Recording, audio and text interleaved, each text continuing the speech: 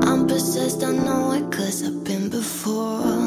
And I have felt like this ever since Friday. Now there's 50 people here to slay my door. I wanna be alone, today is my day, so yeah.